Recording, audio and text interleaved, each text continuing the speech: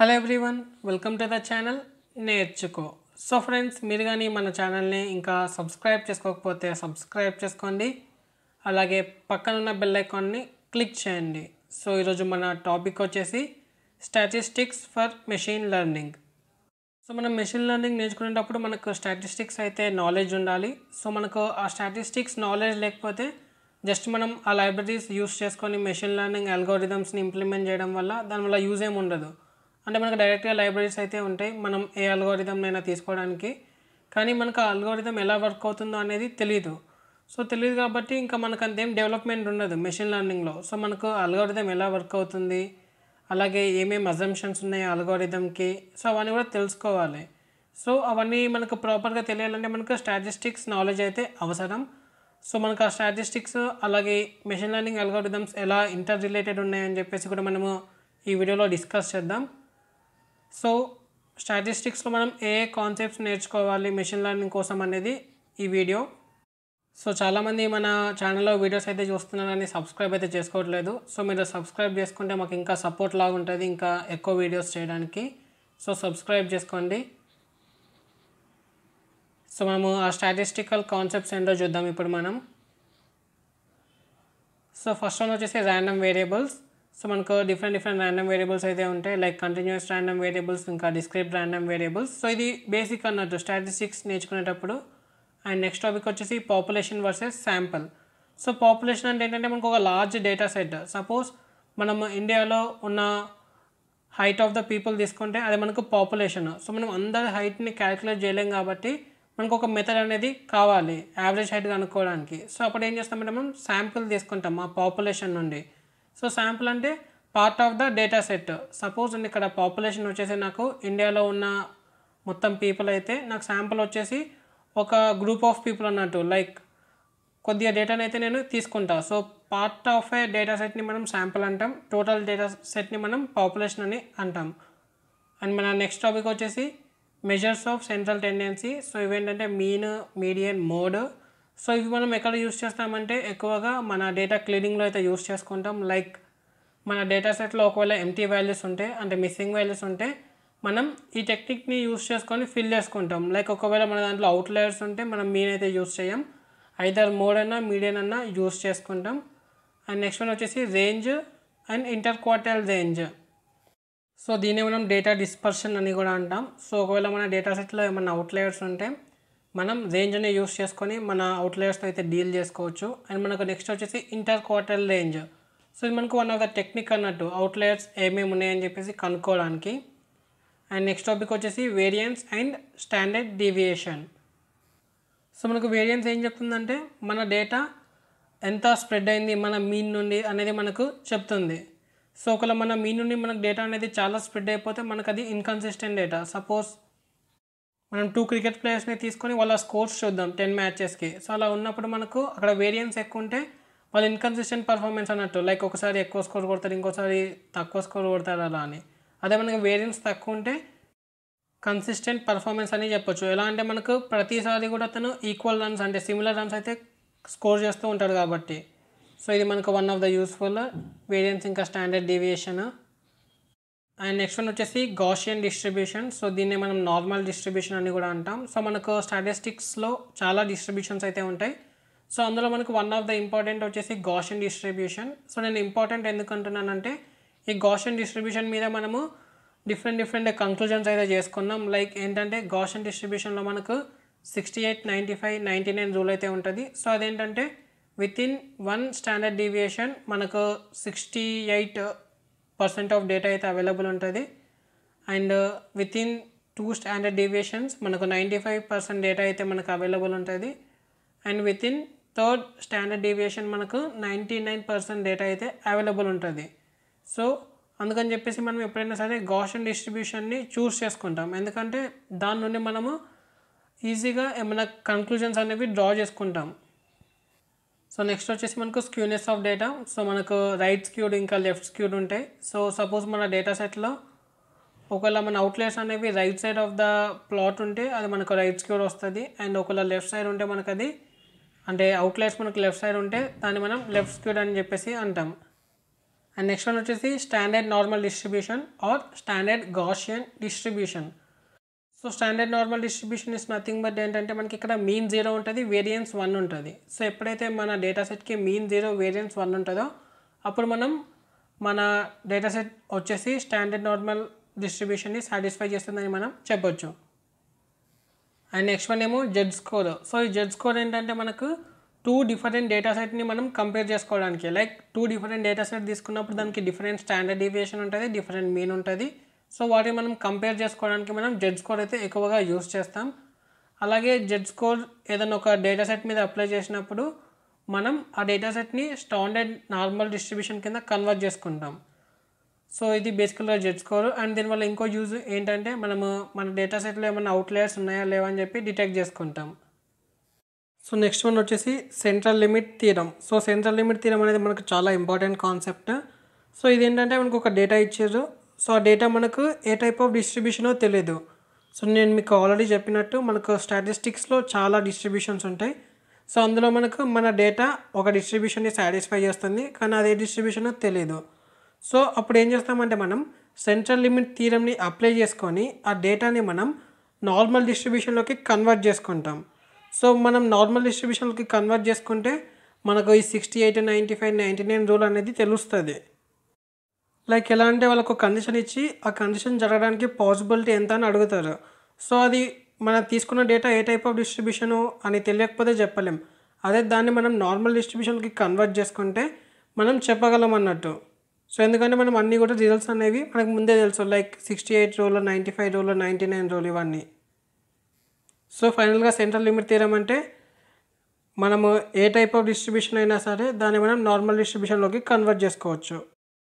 మన next concept వచ్చేసి covariance so ఇది మనం ఎక్కువగా ఎక్కడ యూస్ చేస్తామంటే మన లీనియర్ రిగ్రెషన్లో అయితే యూస్ చేస్తాం. సో ఏంటంటే మల్టీ కోలినియారిటీని అవాయిడ్ చేయడానికి.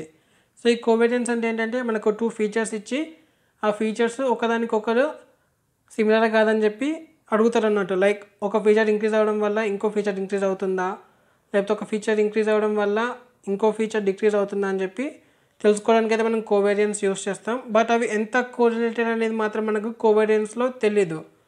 సో అవి ఎలా తెలుస్తాయంటే మనకి ఇంకో టూ మెథడ్స్ అయితే ఉన్నాయి. సో అవి ఏంటంటే Pearson correlation coefficient Spearman rank correlation coefficient so ఇవన్నీ కూడా మనకు ఫీచర్స్ ఇచ్చినప్పుడు అవి ఎంతవరకు కోరిలేటెడ్ అనేది తెలుసుకోవడానికి అయితే ఇవి యూస్ చేస్తాం. అండ్ నెక్స్ట్ వన్ వచ్చేసి కాన్ఫిడెన్స్ ఇంటర్వెల్ సో ఈ కాన్ఫిడెన్స్ ఇంటర్వెల్ అంటే ఏంటంటే మనకు ఒక పాపులేషన్ ఇచ్చి ఆ పాపులేషన్ యొక్క మీన్ ఏ కాన్ఫిడెన్స్ ఇంటర్వెల్లో ఉంటుందని చెప్పేసి అడుగుతారు.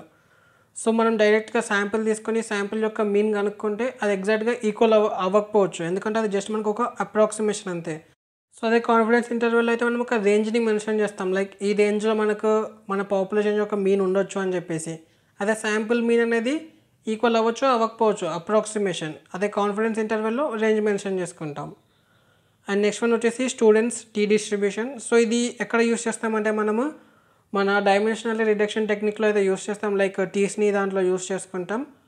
అండ్ నెక్స్ట్ వన్ ఏమో hypothesis testing and next one ఏమో QQ plot so QQ plot అంటే ఏంటంటే మనకు ఒక డిస్ట్రిబ్యూషన్ ఇచ్చి ఆ డిస్ట్రిబ్యూషన్ ఏంటో కనుక్కోమంటారు. సో మనము ఆ డిస్ట్రిబ్యూషన్ ఏంటో తెలియదు సో క్యూక్యూ ప్లాట్ అప్పుడు ఏం చేస్తామంటే మనము ఒక డిస్ట్రిబ్యూషన్ ఒక ర్యాండమ్ డిస్ట్రిబ్యూషన్ని మనం ఇంకొక తెలిసిన డిస్ట్రిబ్యూషన్తో కంపేర్ చేసుకుంటాం. లైక్ నా దగ్గర నార్మల్ డిస్ట్రిబ్యూషన్ని సాటిస్ఫై చేసే డేటా సెట్ ఉంది అండ్ ఇంకొక న్యూ డేటా సెట్ ఉంది. అది నార్మల్ డిస్ట్రిబ్యూషన్ కాదని చెప్పి చెక్ చేయాలి.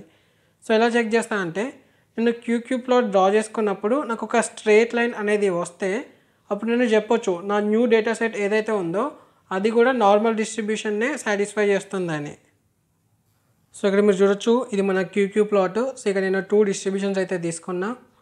ఎక్స్ యాక్సిస్ మీద ఒకటి వై యాక్సిస్ మీద ఒకటి. సో నేను వాటిని ప్లాట్ చేసుకుంటే నాకు అదంతా కూడా ఒక స్ట్రేట్ లైన్ మీద అయితే ప్లాట్ అయిపోయింది. సో అప్పుడు నాకు ఈ ఎక్స్ వై రెండు కూడా సేమ్ డిస్ట్రిబ్యూషన్ అనేసి నేను కన్క్లూడ్ చేస్తాను సో మన నెక్స్ట్ టాపిక్ వచ్చేసి చెబిషేవ్స్ ఇన్ఈక్వాలిటీ సో ఇదేంటంటే మనకు గాషన్ డిస్ట్రిబ్యూషన్కి జనరలైజేషన్ లాగా అనుకోవచ్చు. సో ఎలా అంటే మనకు గాషన్ డిస్ట్రిబ్యూషన్లో విత్ ఇన్ ఫస్ట్ స్టాండర్డ్ డీవియేషన్లో మనకు సిక్స్టీ ఎయిట్ పర్సెంట్ డేటా అయితే అవైలబుల్ ఉంటుంది. And within second standard డీవియేషన్లో మనకు నైంటీ ఫైవ్ పర్సెంట్ డేటా అయితే అవైలబుల్ ఉంటుంది.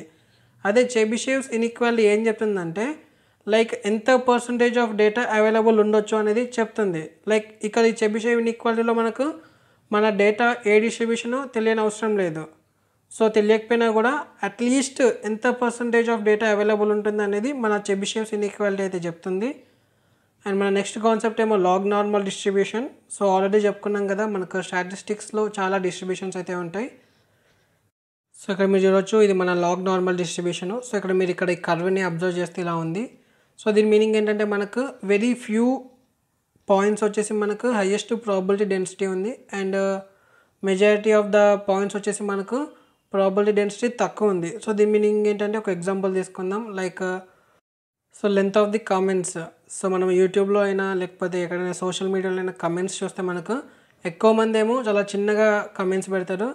అండ్ తక్కువ మంది ఏమో చాలా పెద్ద పెద్ద కామెంట్స్ అయితే పెడతారు. సో ఇది మనం ఎగ్జాంపుల్ అనుకోవచ్చు లాగ్ నార్మల్ డిస్ట్రిబ్యూషన్కి అండ్ ఈ లాగ్ నార్మల్ డిస్ట్రిబ్యూషన్ని మనం నార్మల్ డిస్ట్రిబ్యూషన్కి కన్వర్ట్ చేయాలంటే జస్ట్ మనము లాగరిథం అప్లై చేస్తే సరిపోద్ది.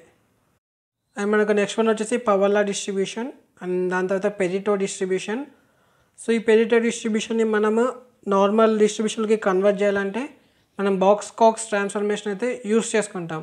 సో మీకు డౌట్ రావచ్చు. లైక్ మనం సెంట్రల్ లిమిట్ తీరం యూస్ చేసుకొని ఏ డిస్ట్రిబ్యూషన్ అయినా సరే మనం నార్మల్ డిస్ట్రిబ్యూషన్కి మార్చుకోవచ్చు కదా. మళ్ళీ మనకు ఈ బాక్స్ కాక్స్ ట్రాన్స్ఫర్మేషన్ ఎందుకని చెప్పేసి. సో మనకు సెంట్రల్ లిమిట్ తీయడం దేనికి అప్లై అవుతుంది అంటే only with finite mean and standard deviation so మనకి ఇక్కడ పెరిటో డిస్ట్రిబ్యూషన్లో మనకు మీన్ అనేది ఇన్ఫైనైట్ అంటే అన్డిఫైన్డ్ సో దీనికి మనకు సెంట్రల్ లిమిట్ తీరం అనేది అప్లై అవ్వదు. సో అందుకని చెప్పేసి మనం బాక్స్ కాక్స్ ట్రాన్స్ఫర్మేషన్ అయితే యూస్ చేసుకుంటాం. సో మనం ఏ కాన్సెప్ట్స్ నేర్చుకోవాలి అనేది అంతా కూడా తెలుసుకున్నాం. సో ఇప్పుడు మనం ఆ కాన్సెప్ట్స్ని మనం ఎక్కడ నేర్చుకోవాలి? అంటే ఎక్కడ మనకి ఈజీగా ఎక్స్ప్లెనేషన్ అనేది ఉంటుంది అనేది చూద్దాం. సో మీరు ఫస్ట్ అయితే ఖాన్ అకాడమీలో నుండి నేర్చుకోవచ్చు. సో ఇక్కడ మీకు అంతా కూడా క్లియర్గా ఎక్స్ప్లెనేషన్ అయితే అవైలబుల్ ఉంటుంది.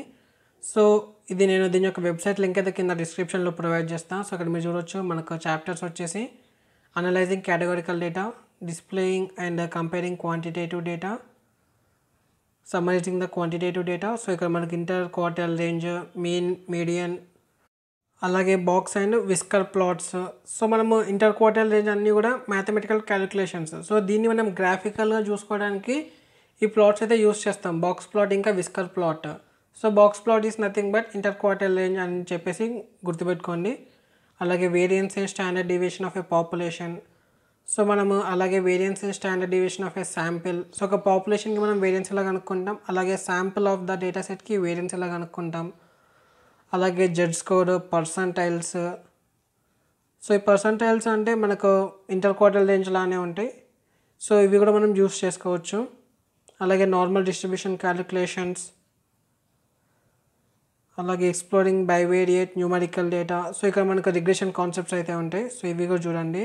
దాని తర్వాత probability and random variables sampling distribution so ఈ శాంప్లింగ్ డిస్ట్రిబ్యూషనే మనకు సెంట్రల్ లిమిట్ తీయడము దాని తర్వాత కాన్ఫిడెన్స్ ఇంటర్వెల్స్ అండ్ దాని తర్వాత హైపోథసిస్ టెస్టింగ్ అండ్ దాని తర్వాత అనోవా సో ఈ కాన్సెప్ట్స్ అయితే మీరు చూడండి. అండ్ నేను ఇంకొక రిసోర్స్ ఏంటంటే ఇక్కడ statistics lectures dot com so ఇందులో కూడా మీకు అన్నీ కూడా క్లియర్గా ఎక్స్ప్లెనేషన్ ఉంటాయి ఈజీగా ఉంటాయి. సపోజ్ నేను ఇక్కడ ఇంటర్ క్వార్టర్ రేంజ్ చూద్దాం. Inter quarter range and box plots so మన ఇంటర్ క్వార్టర్ రేంజ్కి ఫార్ములా ఇది lower fence upper fence so దీన్ని నేను ఇక్కడ బాక్స్ ప్లాట్ లాగా ప్లాట్ చేసుకున్నా. సో ఇదే ఇది బాక్స్ ప్లాట్ అన్నట్టు. సో ఇక్కడ మీకు కనిపిస్తుంది కదా? సో ఇదే బాక్స్ ప్లాట్ సో మీరు ఈ టూ రిసోర్సెస్ అయితే యూస్ చేసుకొని నేర్చుకోవడానికి అలాగే మనకు యూట్యూబ్లో చాలా రిసోర్సెస్ ఉన్నాయి. సో అవి కూడా చూడండి. సో మీకు కానీ ఈ వీడియో నచ్చినట్టయితే లైక్ చేయండి షేర్ చేయండి. అలాగే మన ఛానల్ని మీరు ఇంకా సబ్స్క్రైబ్ చేసుకోకపోతే సబ్స్క్రైబ్ చేసుకోండి. Thank you for watching keep learning